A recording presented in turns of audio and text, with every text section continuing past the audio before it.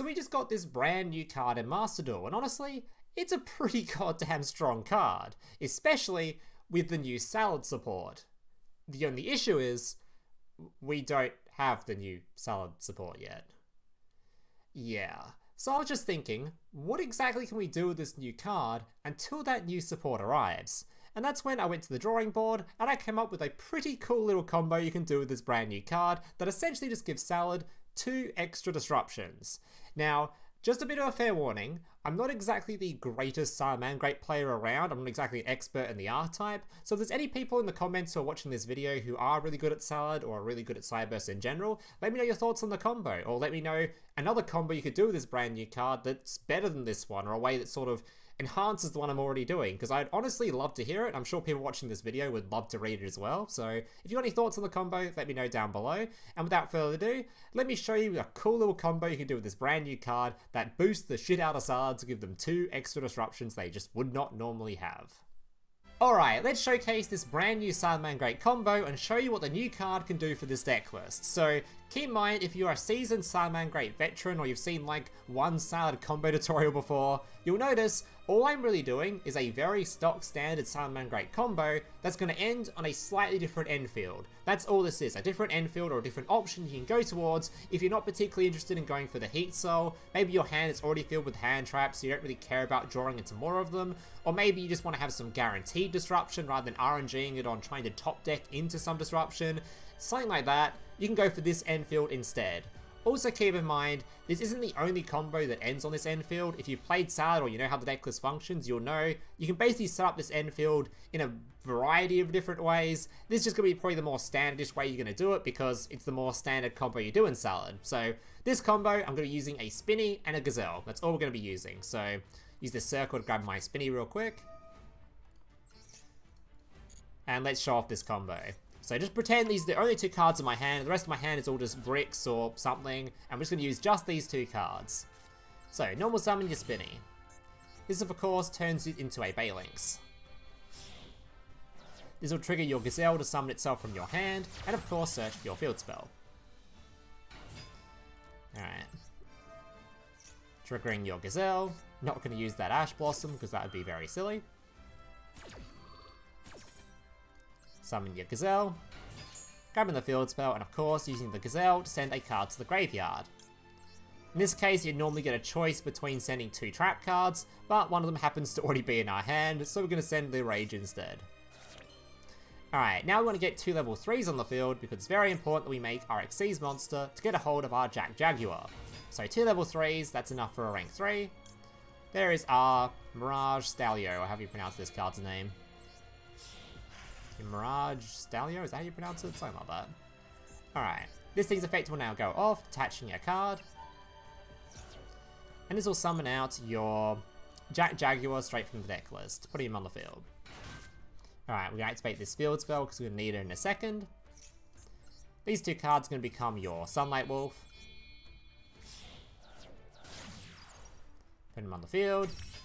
Now we can make a second Sunlight Wolf because we want to use this effect to add back from the graveyard.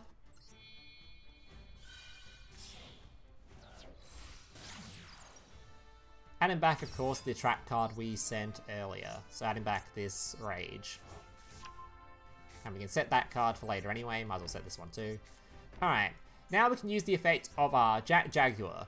Now, this is where this is going to, the combo is going to differ, differentiate, or how do you say that word? It's going to change up from the standard Cyberman Salamangreat combo. Because normally, you'd send your Sunlight Wolf from your from your graveyard back into your extra deck, and keep these two cards in the graveyard for further use.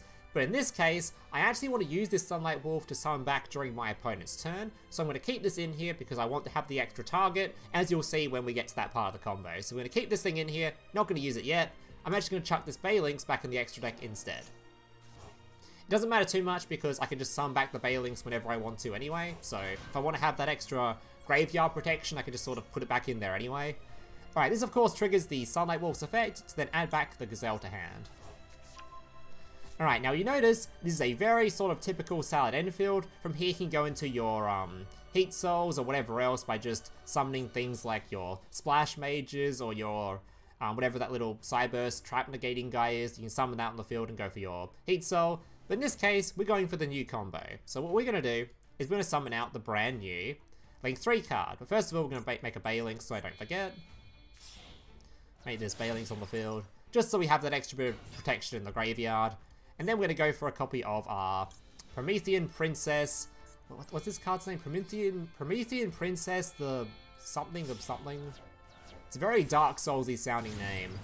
But Promethean Princess, the Bestower of Flames. A pretty sick name. So this card has three effects to sort of worry about. The first one is, whilst on the field, you can only summon fire monsters. Keep that in mind because it stops you going into your access code talker plays and all that kind of stuff if you already have this thing on the field. So that might be why you might notice you're locked out of something. So keep that in mind. The second effect of it is, this thing can just summon back a fire monster from your graveyard. So in this case, I'm going to grab back my um, Sunlight Wolf because I want this effect, I want this thing on the field so my uh, trap card's obviously active. Alright, next up, this thing has a third effect where if it's in the graveyard, Whenever your opponent tries to special summon a monster, you can destroy a fire monster on your field to destroy a monster on your opponent's field. So it's very important, we actually just want this thing in the graveyard. Also keep in mind, when it does so, it can just special summon itself back to the field. So, we're going to go for a Link 4. A card that you might not have seen all that often, because doesn't really see that much play.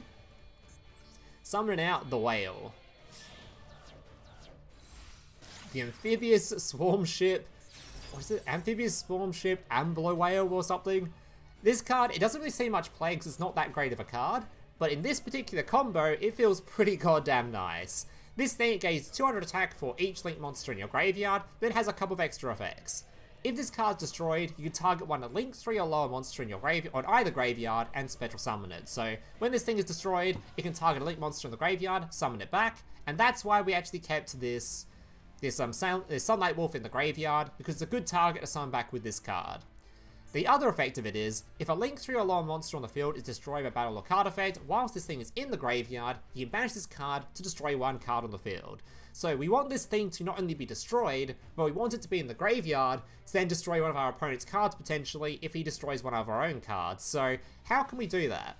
Well, we just have to wait for our opponent to do any sort of special summon. So we've got our typical Sard setup, we've got a trap card, we've got a couple of hand traps or whatever. Wait for our opponent to special summon something, and as soon as he does so, it will trigger our monster in the graveyard, our Promethean Princess. So activate this thing's effect. This can now pop your own amphibious swarmship to destroy a card in your opponent's field. Alright. Upon doing so, the card revives itself to the field, which is very useful considering this thing can actually uh, summon back cards from the graveyard again. And this thing, it's now going to be triggered to summon back that Sunlight Wolf we kept in the graveyard earlier. Now, if you don't want to keep the Sunlight Wolf in the graveyard for whatever reason, maybe you only run like two Sunlight Wolf because you want to have some extra cards in your extra deck, for example, you can not worry about this as part of the effect and just not care about summoning back a monster. It's also like a higher chance your opponent might have removed this thing or something anyway, so you just summon back this Sunlight Wolf or something.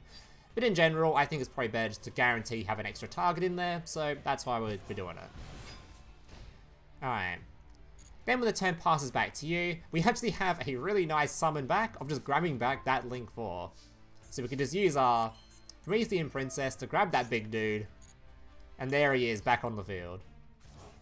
And we have so many resources to go into whatever we feel like. Obviously, of course, you want to get this thing off the field because you want to worry about we can use a Sunlight Wolf to get this thing off the field, because obviously we want to go into things like access code talkers or anything like that. We could just send it to the graveyard, and you've got all your standard solid stuff, and you can special summon whatever you like from the extra deck now. And that's basically the combo for this deck list. Alright guys, that's to do it for this little combo. I hope you guys enjoyed it. Remember, like I said at the start of the video, if you guys have any thoughts on ways to improve this combo or different combos or just ways to use this card in general, feel free to leave those thoughts in the comments down below as I'm sure there's plenty of people watching this that would love to read them as well as myself. Also, if you did enjoy this video, please leave a like and consider subscribing. Plenty more Master Duel content on the way, so if you want to see any of that, appreciate the likes, appreciate the subs, and yeah, thank you guys for watching, hope to see you in the next one. Laters. Hey, big brother, can I watch SpongeBob? Shut up, Mokuba. I'm busy flagging YouTube videos to compensate for the fact that I have an extremely small penis. Oh.